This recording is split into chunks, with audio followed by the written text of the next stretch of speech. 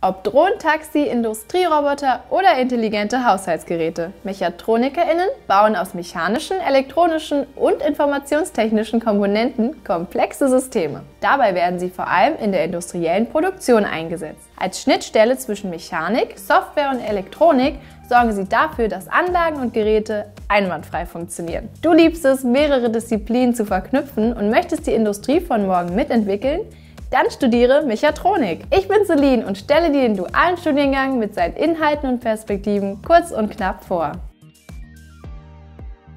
Der duale Studiengang Mechatronik ist besonders praxisnah, damit du optimal auf deinen Traumberuf vorbereitet wirst. Außerdem gibt es bei uns keinen Numerus Clausus. Viel eher stehen bei uns deine Stärken im Mittelpunkt. Das Studium vermittelt dir wichtige Grundlagen aus den Bereichen Maschinenbau, Elektrotechnik sowie Informatik.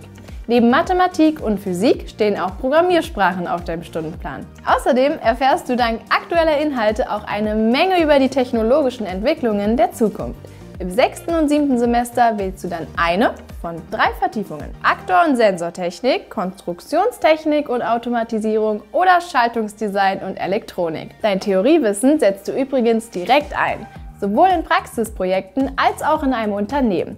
Die Hälfte deines Studiums arbeitest du nämlich bei deinem Praxispartner, der auch deine Studiengebühren übernimmt. Nach dem Abschluss sind deine Möglichkeiten sehr vielfältig. Als Mechatronikerin in der Konstruktion montierst und installierst du komplexe Systeme. Außerdem kannst du mit dem Studium im Qualitätsmanagement mechatronische Systeme auf ihre Schwachstellen prüfen. Oder du kümmerst dich als Serviceingenieurin um die Wartung und Reparatur von bestehenden Anlagen.